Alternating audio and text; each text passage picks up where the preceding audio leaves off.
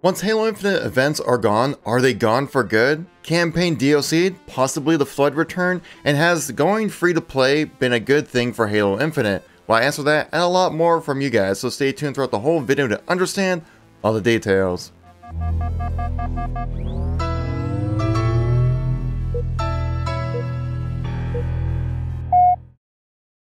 How's it going Halo fans? Kevin here once again, giving you another discussion video about Halo. So I recently went to my community page asking you guys if you had any questions about Halo Infinite, as a lot of things have come around the corner and like a lot of things have changed with Halo Infinite since the release. And you know, my job is to basically be the news guy basically of Halo Infinite. So you and I were able to catch everything and also just kind of discuss Halo in general. And in this video I answered a bunch of your questions. You guys certainly replied back, so thank you so much for your support and interactions with this channel guys to catch the next Q&A, make sure you subscribe to the channel to catch those channel posts when they do go live, but let's get right into the content here. Liam Oretz asks, do you think that special events like Tenrai and Winter Contingency will be revisited at later dates, or will their content be lost to the past from limited events? And so, I kind of feel like that's pretty much what's going to be happening with these events. That's kind of the idea of events just in general, right? Is that they're kind of meant to be like a limited time thing to kind of get you back into the game to kind of play on your FOMO, basically, to kind of boost up those player numbers and get some new content, stuff like that. So,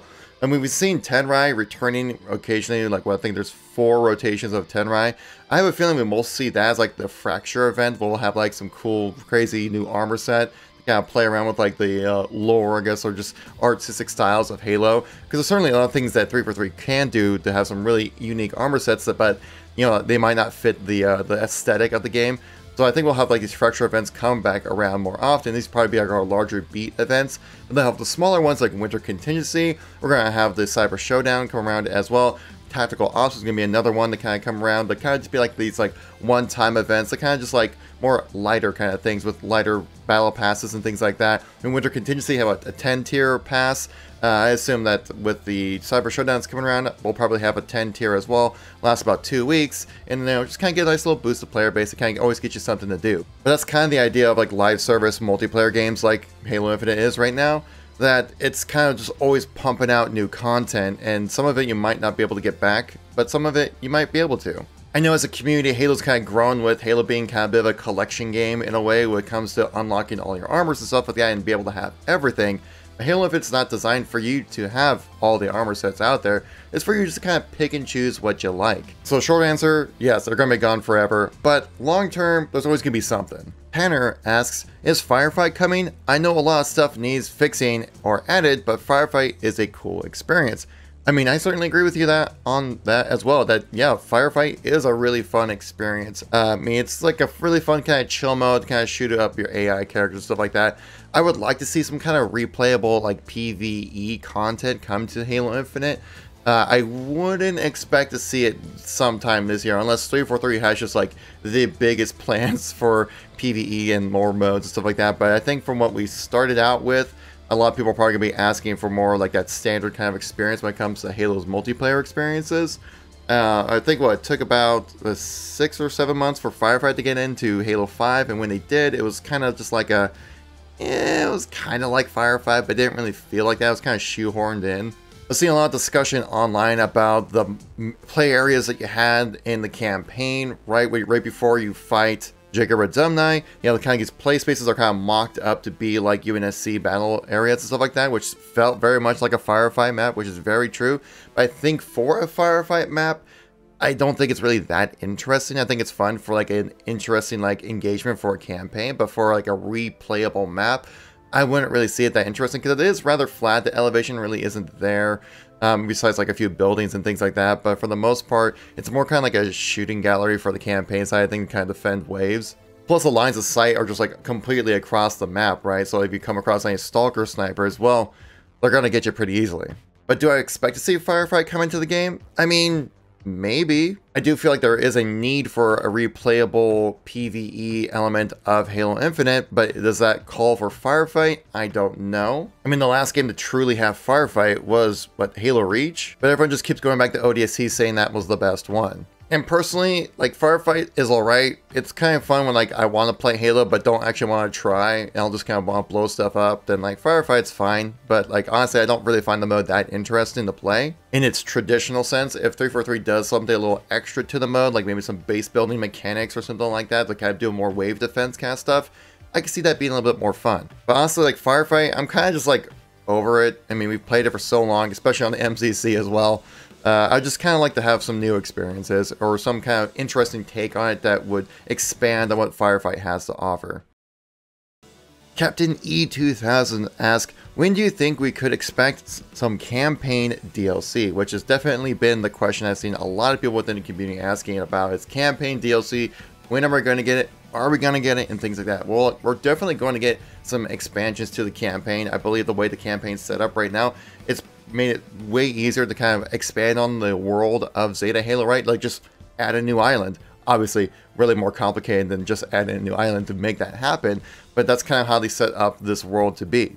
I'm sure many of you know this. I covered this on the channel as soon as it dropped, guys, but you know, if you don't know that Microsoft has trademarked Halo the Endless.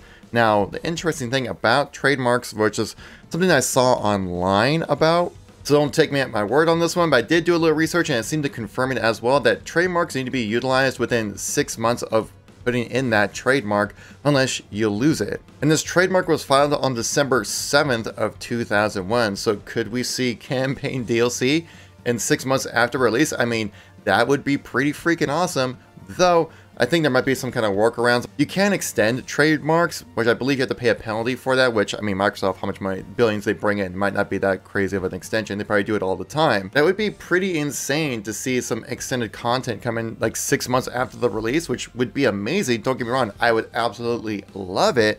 I just find it kind of unlikely that we get campaign DLC six months after release, especially since Season 2 starts in May, which would kind of actually be about six months after release, but hope maybe season two would get some campaign DLC. Then maybe that's another reason why they extended it beyond just adding in co-op.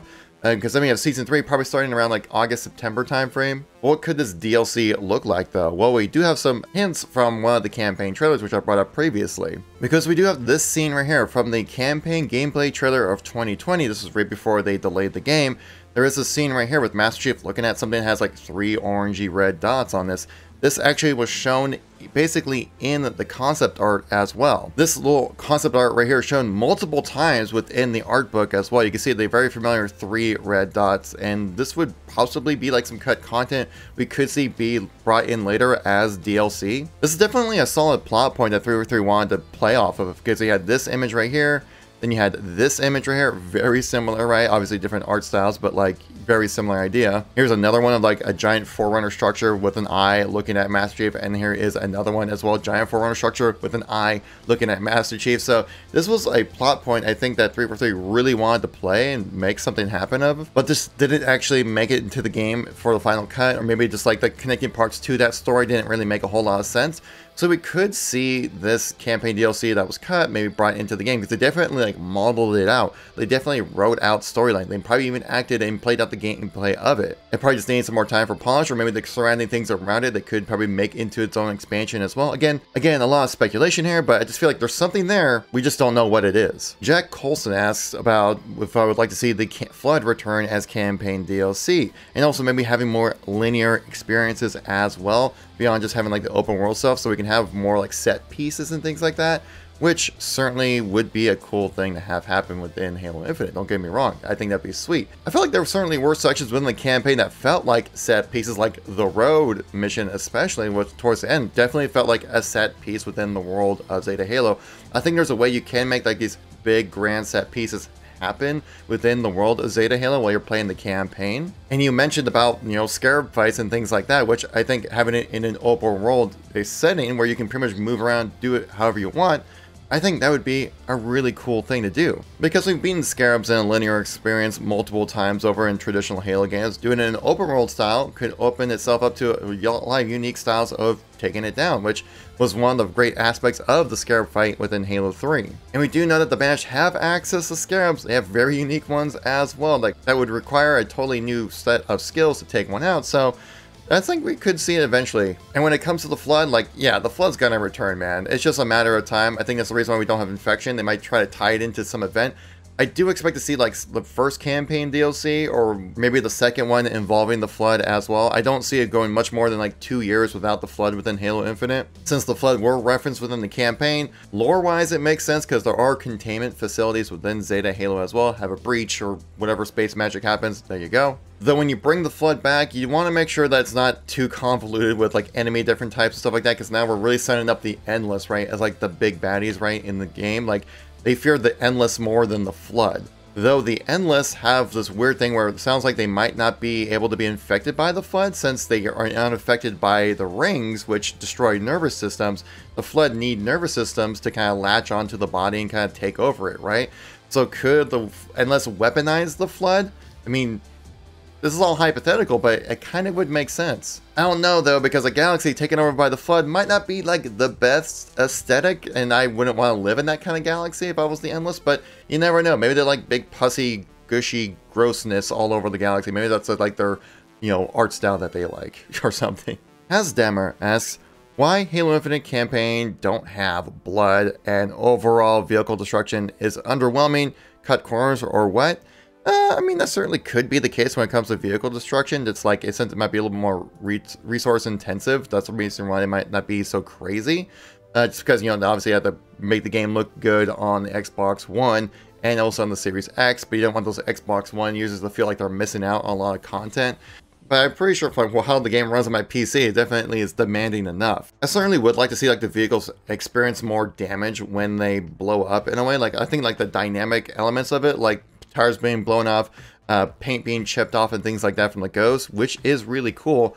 Uh, but I like would like to see like yeah, like we see like in Halo 2, right, where like the, ghost when it blows up, it kind of flutters around, flies off, and explodes or something like that. Like that's just way more dramatic and fun, right? Just kind of having an explosion and the vehicle still relatively maintaining intact. This certainly could be something that we see maybe like dropped with like a campaign DLC, like oh we've improved like the destruction of vehicles or something like that. Things like that are eligible to be changed within the Slip Space engine. So Sleep 403 has definitely set themselves up properly. Do I expect to see it change anytime soon?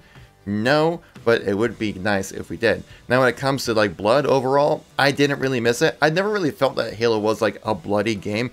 Maybe a little bit in CE, but that's because like the graphics were like so low back then you kind of had to have like this huge splash to kind of give you that effect and that feedback that you are shooting somebody, right? But it's definitely been toned down in Halo 2, it was toned down in Halo 3. Like Halo 3 you just have like a little eh, I never really noticed the blood on the ground, and I think it's kind of got supplemented a lot when it comes to like shield flare explosions. So you still get like that that feedback of shooting an enemy and seeing that shield flare go off. Or with grunts, right? When you shoot like the gas tank, like you see like this big green explosion kind of happen from them, and they go flying off in a different direction. Like I still feel like we get that satisfaction of the uh, seeing like an explosion or something coming off of the character, kind of get that visual feedback of like a explosion like blood would be, but just kind of in a different way. Now, honestly, when I was playing the campaign, I didn't really notice the lack of blood until I was like, well, actually, there is like no blood in this game, is there? And I was like, oh, oh well, I'll keep having playing because I'm having a lot of fun. And I feel like the lack of blood in Halo Infinite is one of those things where it's like, people don't notice it while they're playing, but when somebody mentions it, then they don't like it. Rather than while they're playing like, oh man, there's no blood, ugh. We have Michael. I'm not going to try to pronounce that name because I don't know how to pronounce it at all. I've never seen it before. But you ask, how do you feel about Halo Infinite being free to play now that we have had it for over a month and seen it in full force? And continues on talking about like the customization, how drip feed content, and also how like the customization right now is like not exactly how it is like in Reach and things like that. Uh, for free to play, I think it was the right move for Halo. Now, we do know that like that brings microtransactions in the store, which the store certainly does need a lot of love. What they're offering and what they're asking is just not valued properly. I think $10 for a battle pass, totally worth it. The store items though, like you need to either offer more content within those bundles to make it feel like they're worth something, or cut the prices like in half. I bought into the battle pass and I did buy one microtransaction like that eagle attachment to the assault rifle, but that's only because like I was gifted on stream to purchase it. So Um, beyond that, I haven't really bought any kind of microtransactions because I've always kind of felt they're a little too overpriced or not that interesting. But I feel like going free to play overall is the right move for Halo for one reason is because we're kind of on the coming from the ground up kind of thing. We're rebuilding the community for Halo as it's been pretty much dormant since Halo Reach. So 343 really needed to lower that bar of entry to get people into Halo to play it. The best way to do it is to go free to play. And pretty much we've seen a lot of games go free to play with microtransactions, and the only reason why you would see them do it, probably because it brings them more in more money and a continuous source of revenue beyond just paying 60 bucks for the game. Especially since the prices of games have not gone up at all in like over like two decades. So take a look at this inflation calculator, you can see what I'm talking about. Like in, two, in the year 2000, $60 now would cost $97, and they're pretty sure the game companies would probably bump up that cost a little bit more to be probably like a hundred bucks per game, which would be a huge barrier of entry, especially since people are getting paid less and having to work more. There are a lot of great games out there. So getting someone to pay a hundred bucks just to try out a game is a big ask. So the best way around that is to go free to play with microtransactions so people pay when they want to, but just get the chance to play the game. Now for Halo, I would pay 100 bucks for to not deal with microtransactions at all and just get like a traditional unlock system, but that's just not how the real world works. And right now the store does kind of suck. It does. Like, it's everything costs too much. Well, 343 sees this, but it depends on how 343 and Microsoft view success when it comes to the store. If you've bought one thing, then they if they review that as success, then the store ha has actually been rather successful. But if they view per player buying like two or three, maybe even five items, then the store has been, I'd say, probably unsuccessful. It kind of depends on the metrics that 343 and Microsoft want to use for when it comes to success on that end of things. Long story short, yes, free to play was a good move. So if you're new to the channel missing any content from me recently, check out this playlist right here. I got a link to all my Halo Infinite news and informational videos right there. Thanks so much for watching. Greatly appreciate it. I'll catch you on the next one. Peace out.